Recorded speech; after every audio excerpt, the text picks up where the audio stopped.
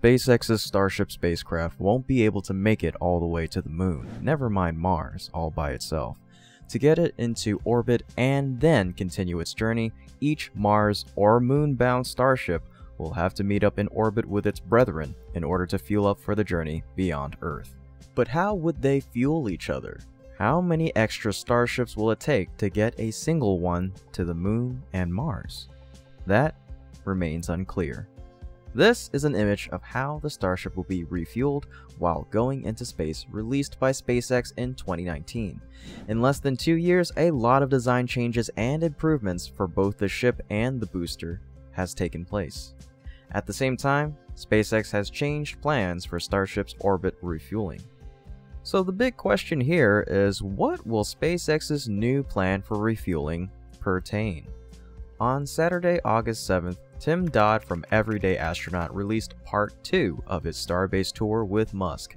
In this video, they discussed the Starship refueling system. Tim asked Elon about the butt-to-butt -butt refueling in orbit, and that Elon needs to start testing that refueling system. Elon responded, no, and he added, we're gonna get to orbit and back first. We don't need orbital refueling unless you're going to the moon or going to Mars. Then you need orbital refueling. And he also said, I'm not sure it will be the butt to butt, it might be something different. We switched the propellant fill drain lines to the side. But one caveat here is they still refuel through their skirts, kinda like the old butt to butt, except using the new side skirt ports. Can we stop saying butt to butt, please? it sounds so weird. The previous strategy was dramatically altered by this plan, which may be a fantastic but risky SpaceX idea. the butt to butt seems to be more simply because it could be imagined the fluids flow downwards with a slight ullage push in one direction. With the new plan, they don't have that same balance advantage. Recently, a new render by SpaceX enthusiast ErcX has shown the new Starship orbital refueling method as described by Elon Musk, and he shared this amazing 3D design showing how Starship side-to-side -side refueling works, on top of the crewed ship and on the bottom of the cargo ship. And it drew the approval of Elon Musk, who replied with two fire emojis, because that is much more fire than saying butt to butt constantly. Okay, I'd rather say side to side refueling.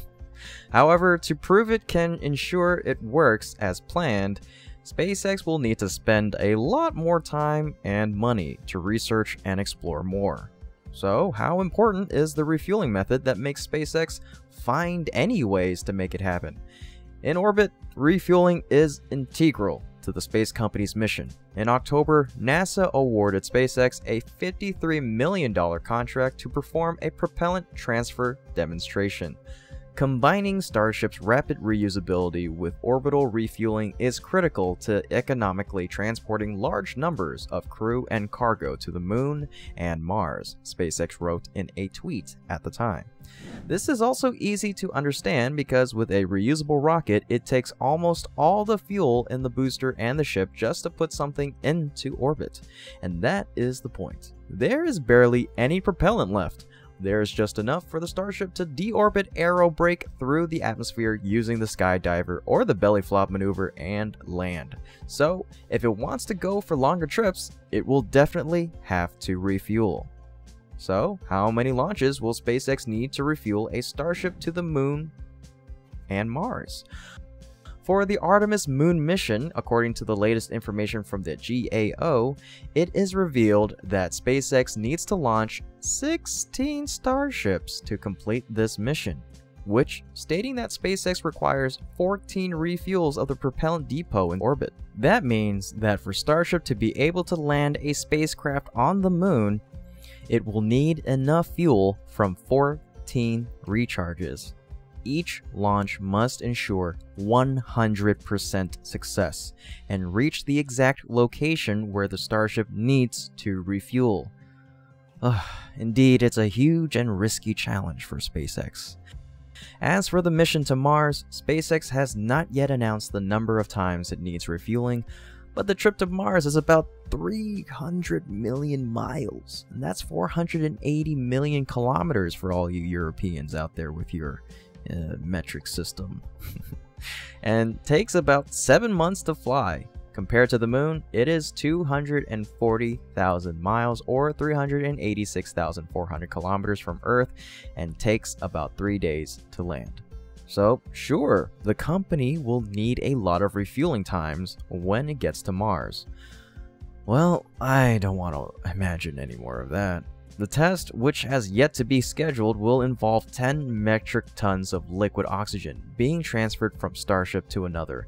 But first, SpaceX will have to demonstrate that its Starship and Super Heavy are able to get into orbit in the first place. And only then will the company be able to start seriously considering an orbital refueling maneuver.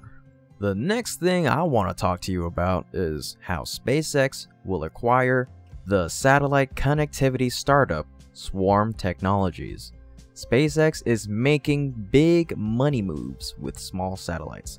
On Monday, CNBC announced that the spaceflight firm is acquiring Swarm Technologies. The California based firm claims to have the smallest commercially operational satellites in space, with each similar in size to a small book. The acquisition is its latest move in its growing satellite operations. It's unclear at this stage what SpaceX plans to do with Swarm, but it comes as the firm works to build out its Starlink constellation of satellites in low Earth orbit. So, SpaceX bought Swarm, but first off, what is Swarm? Swarm was founded in 2016 in its last fundraising round in January of 2019, it was valued at $85 million. It offers low-cost internet connectivity for the Internet of Things devices, where SpaceX's Starlink is focused on internet access for computers and smartphones, Swarm is more interested in industry sensors like buoys at sea, smart energy meters, and agriculture sensors. These are the sort of devices that need a reliable connection at a low price, but maybe don't need such high speeds or low latencies as those offered by Starlink. Swarm has developed a tiny Space Beast satellite, which measures just 11 centimeters by 11 by 2.8, which is around 4.33 inches by another 4.33 by 1.1 inches. That makes it a quarter the size of a standard CubeSat satellite, favored by students and researchers for small projects in space. These satellites weigh just 400 grams, or 0.88 pounds if anyone ever really measures pounds like that. The firm is developing a constellation of 150 Space B satellites. Swarm. What does it mean for Starlink? How are these two going to cooperate? It's unclear at this stage what SpaceX's acquisition means for Starlink. In the firm's FCC documents, SpaceX wrote that it will benefit from access to the intellectual property and expertise developed by the Swarm team, as well as from adding this resourceful and effective team to SpaceX. Swarm, the filing claims, will benefit from the better capitalization and access to resources available to SpaceX as well as the synergies associated with acquisition by a provider of satellite design, manufacture, and launch services. Another benefit is that it could enable SpaceX to acquire several FCC licenses in a short space of time. These licenses can take a while to acquire. As SpaceX gears up to roll out Starlink further this year, the reasoning behind the Swarm acquisition could become clearer soon. And that concludes today's episode. As always, thumbs up if you liked today's episode, subscribe if you haven't, and hit the bell so you won't miss out on new great SpaceX content. Once again, thank you so much. As a reminder, if you have any ideas on what we should talk about in the upcoming episode, leave a comment down below along with your opinions on what you were thinking about during today's topics. Okay?